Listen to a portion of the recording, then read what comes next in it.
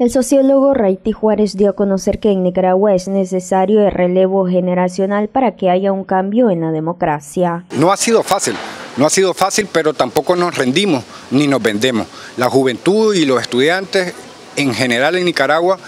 somos la voz del verdadero cambio, no vamos a aceptar reformas, eso lo dejamos muy claro, no vamos a aceptar maquillaje, no vamos a aceptar unas elecciones para que no cambie nada, queremos una transformación profunda, lo hacemos por los caídos de abril y lo hacemos por toda la sociedad y creemos que la población en general está de acuerdo con esto, en que no haya un pacto, ¿verdad? Ese ha sido el principal logro, evitar que las cúpulas, que las élites económicas y políticas pacten, ese ha sido el principal logro también del 2019 y va a ser así en el 2020. Vamos a resistir y hasta que a los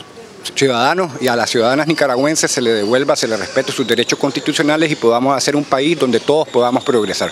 Juárez también agrega que otro de los cambios que urge es en los poderes del Estado, en vez de hablar de reformas electorales. La demanda de la juventud de los estudiantes es una transformación del sistema político para hacerlo más incluyente, para hacerlo más ajustado a la realidad y lamentablemente también ha habido cierto retroceso en el sentido de que hay actores políticos tradicionales como los diputados y los partidos tradicionales que no dejan los privilegios y no dejan de pactar con el Estado que ha sido opresor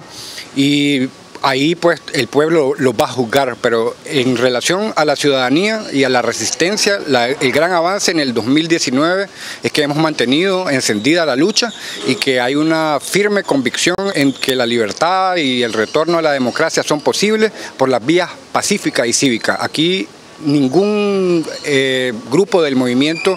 ha eh, utilizado armas o ha utilizado la violencia como un método. Por el contrario, apostamos a la nueva cultura política.